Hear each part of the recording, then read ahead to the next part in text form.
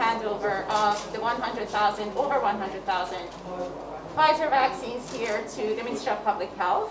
Um, the goal of these vaccines are to save lives and to end the pandemic. So thank you all for being here today and to see us through this delivery.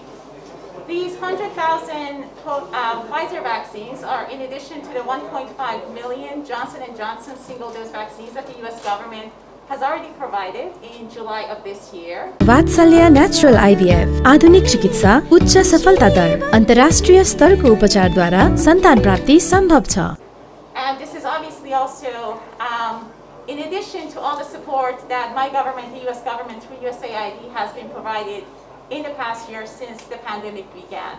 Um, I also want to say that these 100,000 vaccines are significant not only because they are Pfizer and they are approved for children under um, over 12, but it's also significant because in cooperation with the Ministry of Public Health, with our partners here um, at UNICEF who are here with us, with COVAX and with others, the process that we have gone through working with them to set up the cold chains, to provide the training and the special PPEs is going to allow the government of Nepal to receive more Pfizer vaccines in the future.